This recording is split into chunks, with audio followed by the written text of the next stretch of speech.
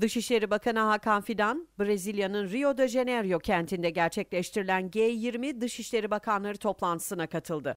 Diplomatik kaynaklardan edinilen bilgiye göre Fidan konuşmasında Gazze'deki vahşetin durdurulması gerektiğini ifade etti.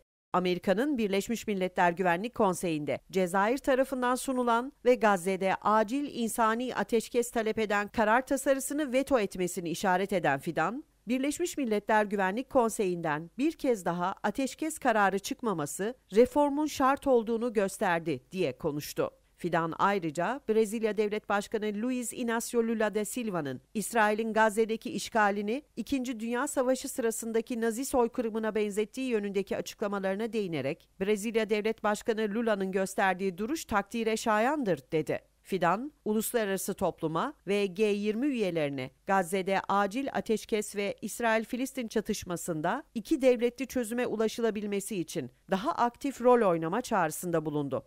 Bakan Fidan toplantı marjında Amerikalı mevkidaşı Antony Blinken, Almanya Dışişleri Bakanı Annalena Baerbock ve Mısırlı mevkidaşı Sami Şukri ile de ayrı ayrı görüşmeler gerçekleştirdi. Görüşmelerde Gazze'de acil ateşkes sağlanması ve bölgeye daha fazla yardım ulaştırılması için atılacak somut adımlar ele alındı.